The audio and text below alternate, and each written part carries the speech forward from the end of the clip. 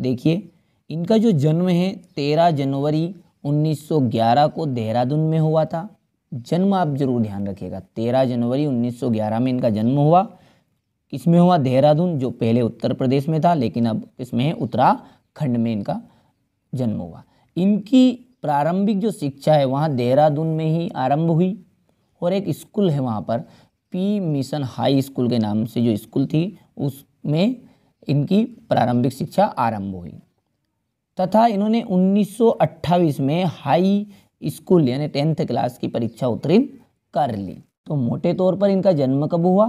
तेरह जनवरी 1911 को देहरादून में इनका जन्म हुआ। प्रारंभिक शिक्षा इन्होंने पी मिशन हाई स्कूल में शुरू की। 1928 में इन्होंने हाई स्कूल की परीक्षा उत्तीर्ण कर ली और इनकी जो मृत्यु है वहाँ 12 मई उन्नीस तिरानवे में अहमदाबाद में इनकी मृत्यु हो गई। अब देखते हैं इनकी रचनाएँ। देखिए, वैसे तो बहुत सारी रचनाएँ हैं, लेकिन कुछ कुछ कुछ रचनाएँ मैंने यहाँ पर लिख ली है। देखिए, पहले तो कुछ कविताएँ, कुछ और कविताएँ, दो रचनाएँ। दो रचनाएँ आपसे पूछता है परीक्षा में। तो कुछ कविताएँ, कुछ और कविताएँ। काल तुझसे होड़ है मेरी। काल तुझसे होड़ मेरी या इनकी कौन सी रचना है? तीसरी रचना आप लिख सकते हैं। ये पहला नंबर डाल सकते दूसरा, अब जो चौथी है, वहाँ बात बोलेगी। इस तरह दो प्रमुख लिखना रहता है। मैंने चार बता दी कुछ कविता है, कुछ और कविता है। काल तुझसे होड़ है मेरी बात मेरी, और अंत में आएगा चौथी, बात बोलेगी। अब देखते हैं इनका भाव पक्ष। देखिए, भाव पक्ष में क्या है? इनकी जो कविता है उनमें प्रेम और सौंदर्य का भाव देखने को मिलता है।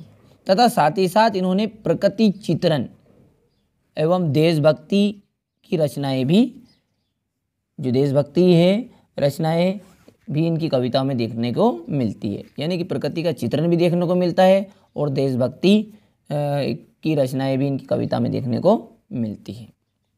तो सीधी सी बात है, सिंपल भाव पक्ष में आप मोटे तौर पर लिख दीजिएगा कि देखिए, पहला वर्ड पकड़ा आपने, प्रेम और सौंदर्य का भाव देखने को मिला। प्रकृति का चित्रण किया तथा देशभक्ति की रचनाएँ भी, यहाँ पर की लिख दिया, देशभक्ति की रचनाएँ भी इनकी कविता में देखने को मिलती है।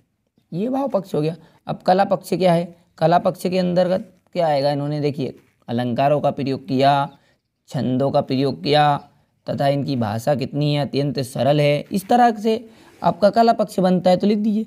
अलंकार का प्रयोग किया, छंदों का प्रयोग किया इन्होंने। इनकी एक और भाषा अत्यंत सरल है तो दूसरी ओर जटिल भी है। जिस समझ इनकी जो भाषा है, उसमें क्या है? अत्यंत सरल कहीं रूप, अत्यंत सरल दिखता है और कई जगहों पर अत्यंत जटिल भी दिखता है। इन्होंने अपनी कविता में वर्णात्मक, चित्रात्मक शैली का भी प्रयोग किया है। तो ये था इनका कला पक्ष। अब अंतिम देख लेते हैं साहित्य में स्थान। शमशेर बहादुर सिंह जी का जो साहित्य में एक विशिष्ट स्थान है जैसा कि मैंने पिछले वीडियो में भी आपको बताया था कि साहित्य में स्थान में आपके सभी लिख सकते हैं। विशिष्ट स्थान है, उच्च स्थान है, एक अद्वितीय स्थान है। इस तरह से आप साहित्य में स्थान इनका बता सकते हैं। कोई भी कवि परिचय हो चाहे लेखक परिचय हो, उनका साहित्य में स्थान आप लिख सकते हैं। विशिष्ट स्थान, उच्च स्थान, एक अद्वितीय स्थान, और इनके योगदान के लिए हिंदी साहित्य इनका सदा ही ऋणी रहेगा, जिन्होंने इन्होंने जो हिंदी साहित्य के लिए योगदान दिया, इसके लिए हम सदा इनका ऋणी रहेंगे। ये था इनका साहित्य में स्थान।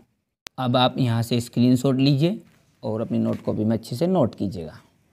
ये रचनाएँ, इसके बाद में भाव पक्ष, फिर आएगा आपका कला पक्ष।